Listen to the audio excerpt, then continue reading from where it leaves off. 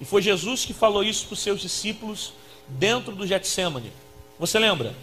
Jesus falou: Vigiai e orai, porque o espírito está pronto, mas a carne é fraca. Ou seja, por mais que eu consiga alcançar um alto estágio da minha espiritualidade, a minha carne continua sendo fraca.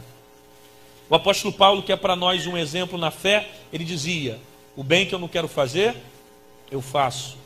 O mal que eu não quero, é o que eu faço. Paulo está falando dos desejos carnais, que tentam constantemente levá-lo para longe de Deus.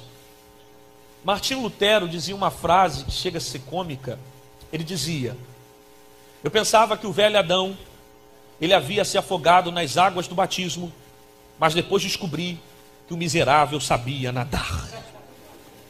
Isso chega a ser engraçado, mas é uma verdade. Porque por mais que você aceita Jesus, passe pelas águas, a tua carne continua tentando te levar para longe de Deus. É uma luta das coisas carnais contra as coisas espirituais. Por isso, quando você aceitou Jesus, o teu espírito se converteu mas a sua carne não. Não vou repetir isso aqui. Quando você aceitou Jesus, o teu espírito se converteu, mas a sua carne não. A carne não aceita Jesus. A carne não confessa pecados. A primeira conversão, ela nasce no seu espírito. O que a Bíblia recomenda eu fazer com a carne é matar ela. Ou eu mato a carne, ou ela me mata. Ou eu venço a carne, ou ela me vence. Ou eu domino a carne, ou sou dominado por ela. Por isso, não tem que ter papo com carne. Não tem que ter conversa com carne. Não tem que ficar de mensagem WhatsApp com carne. Não tem que ficar trocando papo em Facebook com carne. A carne não respeita teu tempo de crente.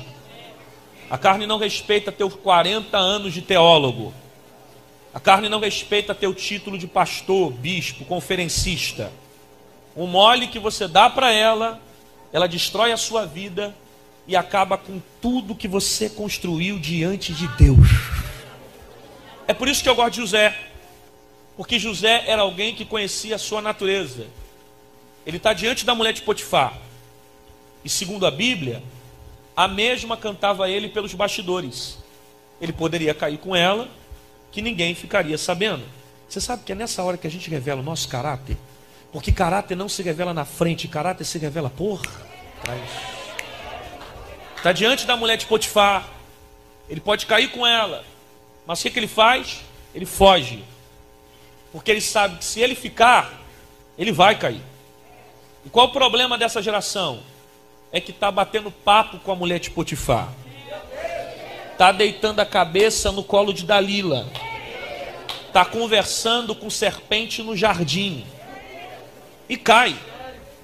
Cai porque não reconhece seus limites. Cai porque não reconhece suas fraquezas. Cai porque não reconhece suas necessidades. Ah, pastor, mas tem hora que os convites chegam e eu não consigo dizer não. Pois é, os convites só estão chegando porque ninguém te respeita como crente. Porque se respeitasse, não chegava. Ah, mas eu não consigo. Porque ele fica entrando no WhatsApp e fica manda nudes, manda nudes, manda nudes. Manda a primeira Reis, 1 Pedro capítulo 2, versículo 9 para ele. Pastor, o que está escrito lá? Mas vós sois geração eleita, sacerdócio real, nação santa, povo adquirido.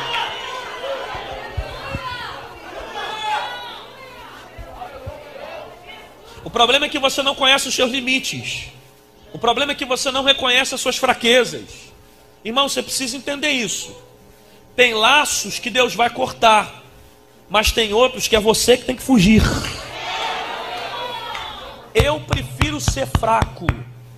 Eu, Rodrigo Santana, prefiro ser fraco e fugir daquilo que eu sei que sou fraco, do que me achar forte e cair nas propostas que o diabo preparou para mim. Não, eu digo mais. Eu prefiro andar com gente que é fraca, mas pelo menos reconhece os seus defeitos, do que gente que diz que é forte, esconde os seus erros debaixo do altar e fica rotando santidade no meio da igreja.